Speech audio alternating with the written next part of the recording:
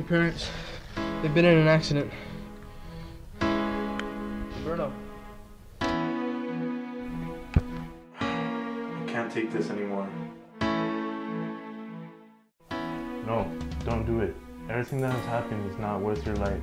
You may have had troubles, you may have broken down, but there's more to life than what you experience. You still have more time on this world, so don't do this. Suicide is not the option. This isn't right. It's not meant to be.